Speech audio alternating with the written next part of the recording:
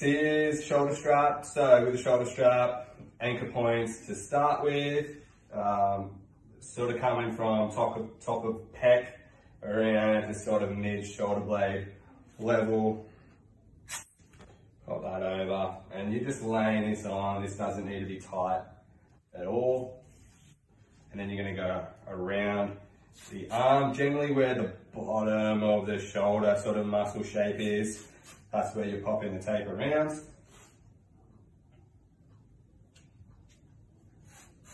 Doesn't need to be too tight, just firm enough to stay there. So there your anchor points. Then you're gonna go from front to back and back to front.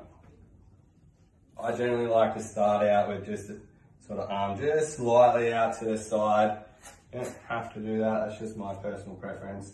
And I also like to add a little bit of from the front to pull it around just a little bit, just helps with a little bit of stability, but again, you don't have to do that. So starting at front, coming over the shoulder to the back side, and then from the back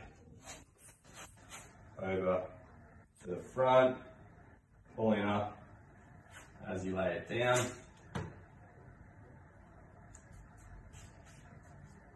You can do that multiple times forward and back. I generally do at least two.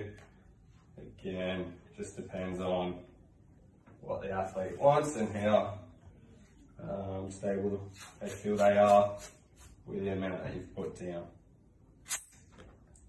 Finish it off. Just go back over your anchor points just to tie it down. And that's general sort of shoulder strap there. And you kind of guys worried about dislocations or they've strained their shoulder up a little bit.